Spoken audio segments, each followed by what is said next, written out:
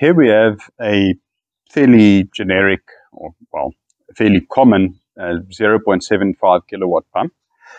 These, the specific pump is used by a few different companies such as Mac Africa and Jojo.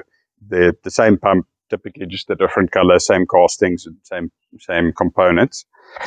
It is a cast iron impeller setup.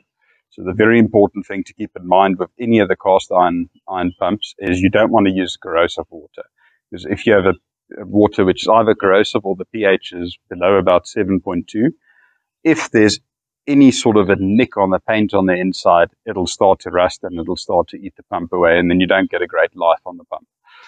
So, what this is is this is simply controlled by a pressure pressure switch here, and then the pump is just plugged in directly. Let's see what we actually find with this. We turn it on. Everything is closed at the moment. on our pressure gauge here, we're finding five and a half bar pressure. If we then open one shower, there's one shower fully open. We are sitting at about 21 liters liters per minute there, and our pressure has dropped to about 3.2 bar. If we then open a second shower, you can see the, the, the pressure dips a little bit on there. Our pressure's dropped down to about 1.6 bar. Oh, and we're sitting at about 35 liters per minute. And then if we open a third shower, you see a significant drop in, in the flow rate there. And then we've dropped down to one bar. And we're sitting probably about 40 liters per minute. So that gives us a good idea of that. If we then close this, one of the things with the dumb pressure switch pumps is that they tend to turn on and off, on and off, on and off. Because if there's any water running anywhere, they don't stop. Like here, this thing's turned off now. But the, the, the thing you get is it turns on at full speed as soon as you have a slight amount of water going. And if you look at the behavior here, if we have, if we quickly open it, you'll get not a, oh, a little bit of water running, then it turns back on. And if we close it, let's, let's just get it to switch off.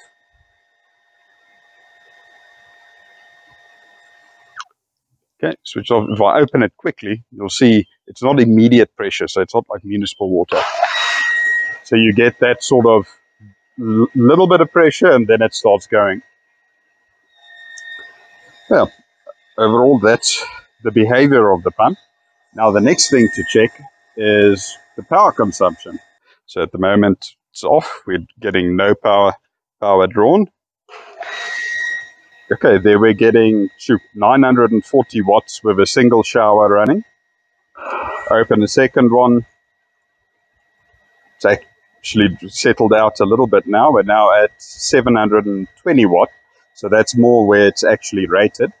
Now, the interesting thing with these pumps is if you only run a little bit of water, so let's say we're only running a trickle of water there, we're actually pulling 900 watt. So because the pump's actually working harder, uh, they were up to 1.1 kilowatt on this pump with just a, just a little bit of water running and then obviously when it when it stops, it's going to go back to zero.